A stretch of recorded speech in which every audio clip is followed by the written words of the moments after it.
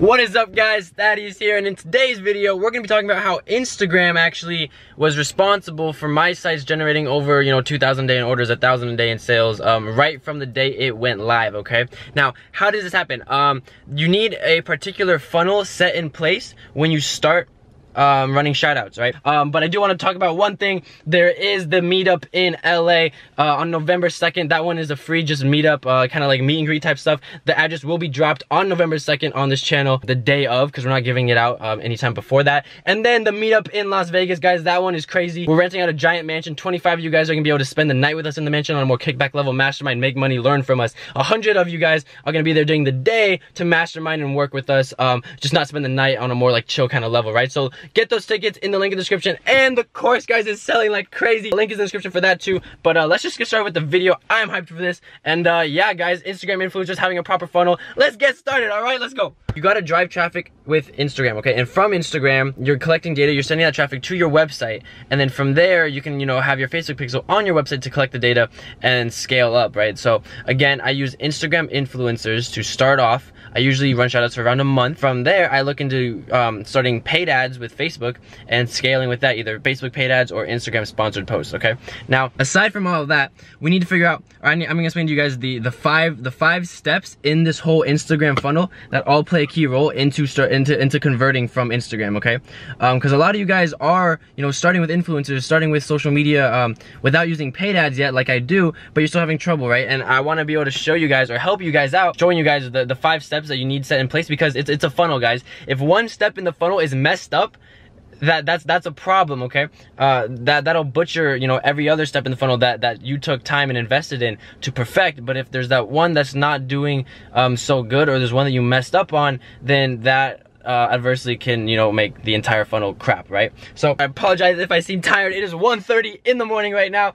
I am running on very little sleep, but I do want to get a video a day up for you guys. I promised myself I'd do this, and uh, my mama ain't raising no bitch, so we're gonna get this video up, all right? So, uh, I got notes and let's get started. Step number one, you need to source the proper influencers, guys, okay? And in my course, I, I run through like the entire, entire like step-by-step -step stuff, but essentially what you wanna do is you wanna find a bunch of influencers, I'm talking, you know, 20, 30 influencers. Uh, you wanna find their engagement, get all the information down, then you wanna narrow that down based on their um, engagement levels, okay? And then from those engagement levels, um, you're gonna, after you narrow them down, you're gonna narrow down once again to a very, very small pool of influencers based on your own budget, okay? And from there, you should be able to pool, like, you know, know, anywhere from two to five influencers that have good engagement that should be well performing pages, okay? And again, as an industry standard, I always work with pages over 400,000 followers, okay? This is for longevity. Now, with that, th th there can be a whole bunch of different factors that come in it, but like, how do you source a proper influencer? One, you go to socialblade.com. That right there, you can type in an Instagram username, you can see their followers um, over time. And the only thing you want to look out for is just a direct upward spike, right? So in the bar graph, it if it goes like this and you see a direct upward spike, oftentimes it, it, it might mean that the influencer purchased followers. And that right there, um, that like that's an issue, right? Because you don't want to spend money on shout out like on a, on a large following when, you know, a portion of those followers are fake or not real, right? They're not going to engage with your um, content. They're not going to go to your website. They're not going to buy your product, which is the most important factor, okay?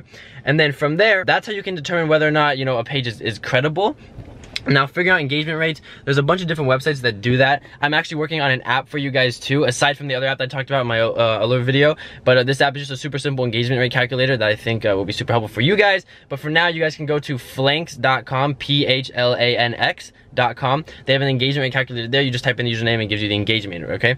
So from there, you should be able to calculate engagement rates for over 30 accounts, and then you can determine which ones are credible by going through Social Blade. Now, once you've narrowed them all down, you narrow them down again based on your budget, okay? So that's step number one. You need solid influencers. If you don't have solid influencers, the rest of the funnel is complete shit, okay? It's not going to work, okay? So you need solid influencers, all right? Step two. Step two is purchasing shoutouts, okay? Now, this seems relatively easy. You know, you email the influencer, you get their rates, you purchase shoutouts. But, but, because in this in this day and age, I know Alex Becker said this in another video too, and I'm, I'm quoting, I'm not like saying this is like my, my, my idea, but people like influencers don't really understand the value of their audience yet and i agree with this and because of that, some influencers charge a lot less than what they're actually worth so you can get away like you can get a bargain right? You can like you can buy shoutouts for steal but on the flip side there's some influencers that are actually they realize this and they're charging you know ridiculous amounts for their um for their following size. And that's where you want to watch out for. That's where you want to don't get like don't want to like take the bite on right? Because think about think about this.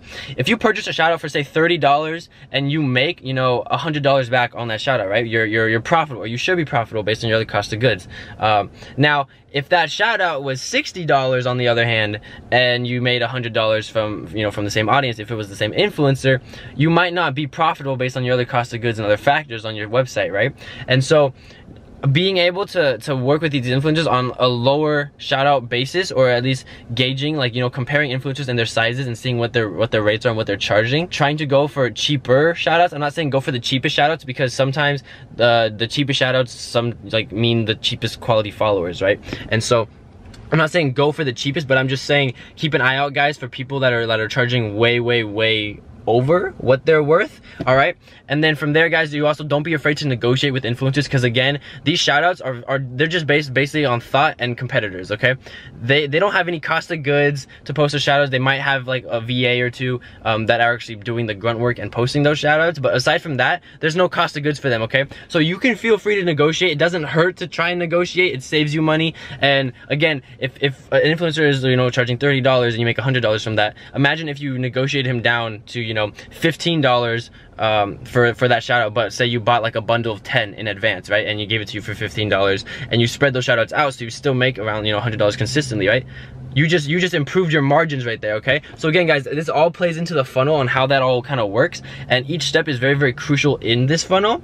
And um, purchasing shoutouts negotiating with influencers and making sure you get your bang for your buck is I think one crucial part that people don't really touch on too much. So I hope that right there um, provides some sort of insight for you guys. Now step number three the actual shoutout okay guys? Instagram is such a visual platform. If you're not posting good quality images you might as well uh, you might as well not dropship, okay? Just because there's so many other dropshippers now in this industry and it's super easy to get into, you need to be better than everyone else. I'm trying to show you guys how to be up here when everyone else is right here, okay?